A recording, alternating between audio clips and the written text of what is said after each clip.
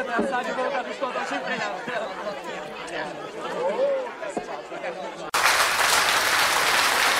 У нас как принято. Гости пришли, жена в поте лица на стол мечет, последнее выставит. А я в Швецию с делегацией съездил. Пригласили на прием. 10 человек, 11 бутербродов, 10 рюмочек коньяка. Все. Вернулся на родину, говорю Дашке. На завтра назначаем прием, как в Европе. Звони Никитиным, Чуркиным, Окунькам, так и скажешь. Устраиваем прием. Моя говорит, и на стол что? Восемь человек, восемь рюмочек водки, девять бутербродов с килечкой и десять пепельниц. Пусть себе ни в чем не отказывают. Жена слезы. Как так? Люди оголодают. Плевать, как в Европе. На завтра вырядилась платье вечернее. Заставил перчатки резиновые натянуть до локтя. Объясняю, на приеме руки целовать будут. Мало ли что принесут на губах.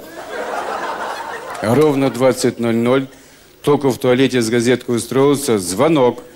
Точный, как в Европе. Мужики в галстуках, дамы в вечерних платьях по горлышко, перчатки, само собой. Антонина вуалью накрылась.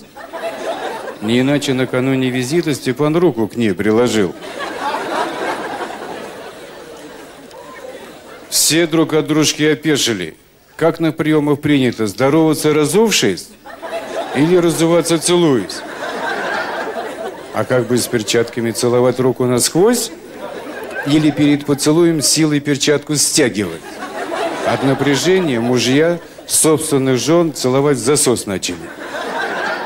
Дамы и господа, прошу к столу на прием. А там восемь рюмок и к ним девять киличек.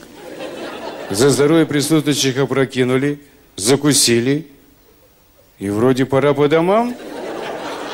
А что делать, когда стол ломится от единственной кильки? Мужики разом встали, говорят, пардон, у нас к вам презент. Вернулись с портфелями. А там у каждого по бутылке водки. Ну, взяли на всякий случай, вдруг прием не заладится.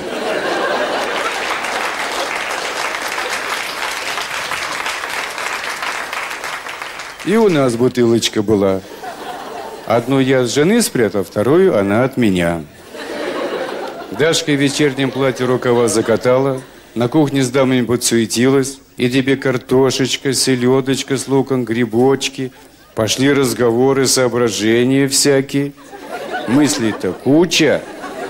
В шесть утра разошлись. Вот как кончилось, а с ней прием. Думаю, до Европы нам еще далеко. И слава Богу.